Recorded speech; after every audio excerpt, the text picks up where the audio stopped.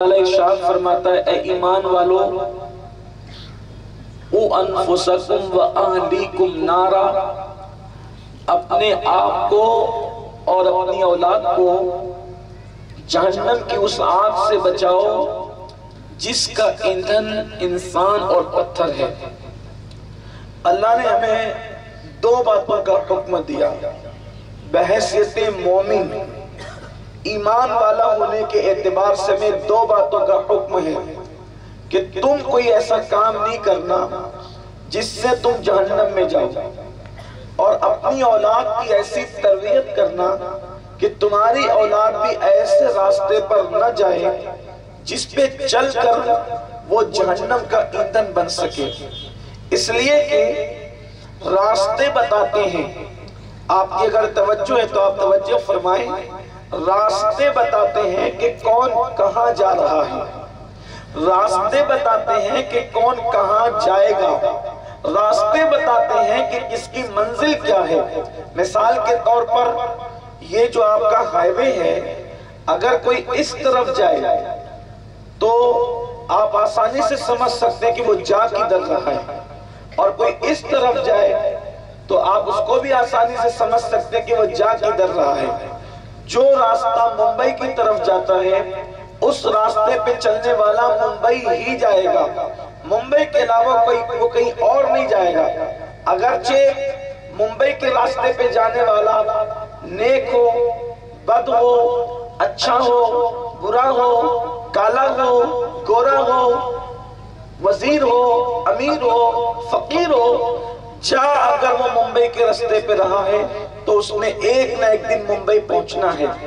और अगर वो अहमदाबाद के रास्ते पे जा रहा है तो उसने अहमदाबाद ही पहुँचना है। बोलो, यही तो होगा। उसूल भी यही है, तरीका भी यही है। अल्लाह फरमा रहा है कि तुम ऐसे काम ना करो, ऐसे रास्ते ना चलो, जो रास्ता तुम्हें जहन्नम पहुँचा दे। अब हमारी कौम का हाल ये है चल रहे हैं जहन्नम के रास्ते पर। और वो उम्मीद करते हैं कि जन्नत में पहुँचे। मेरे अज़ीज़ जब तू मुंबई के रास्ते पे चल के तू मुंबई ही पहुंचेगा, अहमदाबाद के रास्ते पे चल के तू अहमदाबाद ही पहुंचेगा, और तू जो है कच्छ के रास्ते पे जाएगा तो कच्छ ही पहुंचेगा। लोग देखकर आसानी से समझ जाएँगे कि तेरी मंजिल क्या है। अब मैं आपसे पूछना चाहता हूँ, कितना भोला है मुसलमान? कितना सादा है मुसलमान? इसको भोला कहूँ के नादान कहूँ? इसको भोला कहूँ या माज अल्लाह इसको रास्ता भूला कहूँ। ये भोला है कि भूला है? आदमी जिस रास्ते पे जाता है, लोग समझ जाते हैं कि रास्ता जहन्नम का रास्ता है। यानी ये रास्ता इसकी मंजिल क्या है? हम चल रहे हैं जहन्नम के रास्ते पर और उम्मीद करके जाएँगे जन्नत में। नहीं, रास्ते बताते हैं कि मंजिल क्या है। अब जरा देखो मुसलमानों, हम किस रास्ते पे चल रहे हैं? जो गाना सुनने का रास्ता है म्यूज़िक का, वो रास्ता जहन्नम की तरफ़ जाता है। जो रास्ता शराब का रास्ता है, वो जहन्नम की तरफ़ जाता है। जो रास्ता किसी के दिल दुखाने का रास्ता है, वो जहन्नम की तरफ़ जाता है। ये रास्ते तुम्हें जहन्नम की तरफ़ ले जा रहे हैं। झूठ के रास्ते चल रहे हो, जन्नत में नहीं जा सकते। ये रास्ता तुम्हें जहन्नम तक पहुंचाएगा। चुगली कर रहे हो, ये रास्ता तुम्हें जहन्नम तक पहुंचाएगा। अल्लाह हो अकबर, अल्लाह रसूल की नाफरमानी कर रहे हो, ये रास्ता तुम्हें जहन्नम तक पहुंचाएगा। रास्ता मंजिल पता चलती है। अल्लाह पर इसीलिए तो मेरे इमाम कहते हैं, बाएँ रस्ते न जा मुसाफिर सुन। बाएँ रस्ते न जा मुसाफिर सुन। माल है, राह माल रहमार फिरते हैं। अल्लाह अकबर। मेरे आप वसल्लम के दीवानों, हमने कौन सा रास्ता मुंतखब किया है? हमने किस रास्ते का इंतखाब किया है? फज्र की नमाज़ में अगर बिस्तर पर पड़े हुए हो तो तुमने जहन्नम का रास्ता मुंतखब कर लिया है। अगर तुम फ़िल्में देख रहे हो, तुमने जहन्नम का रास्ता मुंतखब कर लिया है। माँ बाप का दिल दुखा रहे हो, तुमने जहन्नम का रास्ता मुंतखब कर लिया है। और अल्लाह ने बहसियत मुसलमान तुम्हें दो ज़िम्मेदारी दी है। नारा। अपने आप को भी जहन्नम से बचाओ और अपनी औलाद को भी जहन्नम से बचाओ। रास्ते का सही इंतखाब करो। रास्ते का सच्चा इंतखाब करो।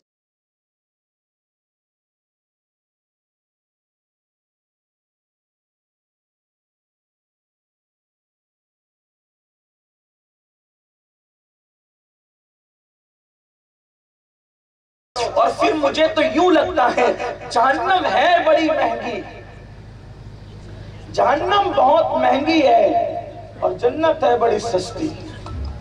लोग सस्ती चीज़ को छोड़ के महँगी की तरफ़ जा रहे आसान को छोड़ के मुश्किल की तरफ़ जा रहे जहन्नम जितनी महँगी है, इतनी महँगी कोई चीज़ नहीं। पागल हो गए लोग।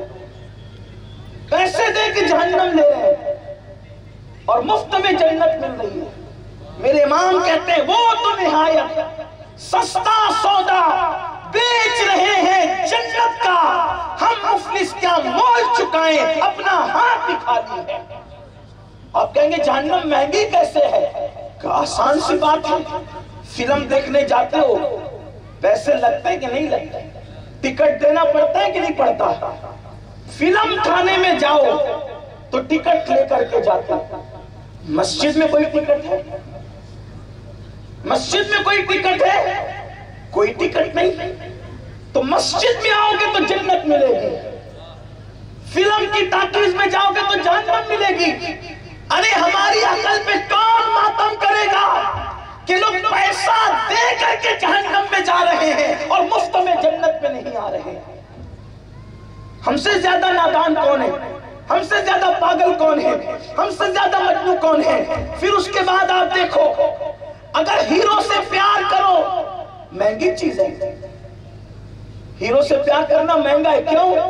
उससे प्यार की अलामत यह है, उस जैसी जिन्स होगी, उस जैसा कड़ा होगा, उस जैसा लिबास होगा। अब मिलता बड़ा महँगा है शोरूम के बगैर तो मिल भी नहीं सकता।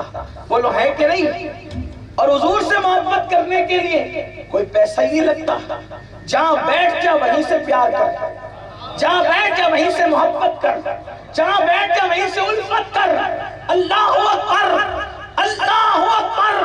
उनसे मोहब्बत तो इतनी आसान है कि जो देख लेता है, देख कर भी मोहब्बत आसान है। जो नहीं देखता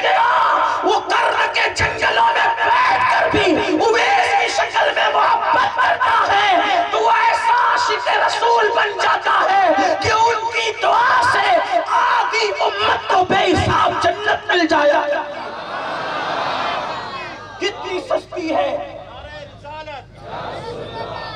कितनी सस्ती है। देखो, शराब पियो, शराब खरीदना पड़ती है। महँगी महँगी मिलती है। और फिर है भी शराब कड़वी। सुना है कि शराब बड़ी कड़वी होती है। लोग कड़वी शराब पी के जानम में जा रहे, पैसे से खरीद के दुरूद कितना मीठा है। दुरूद कितना मीठा है।